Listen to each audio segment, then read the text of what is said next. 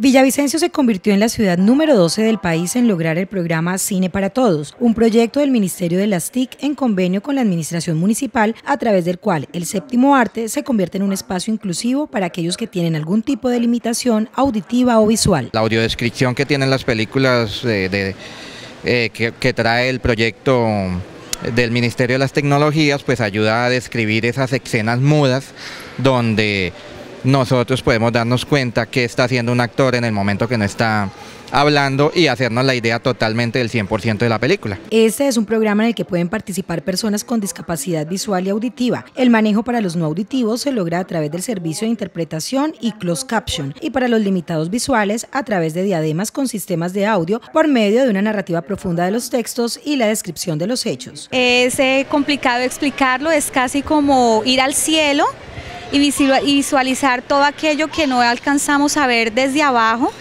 Es en ese momento lo que nos va a brindar este cine para todos es que va a ser en igualdad de condiciones en la cual nos va a prestar el servicio de interpretación. Cine para todos es un espacio gratuito que se realizará el segundo martes y el último sábado de cada mes. Los beneficiarios podrán ingresar con un acompañante recibiendo además descuentos en la compra de alimentos en Cine Colombia.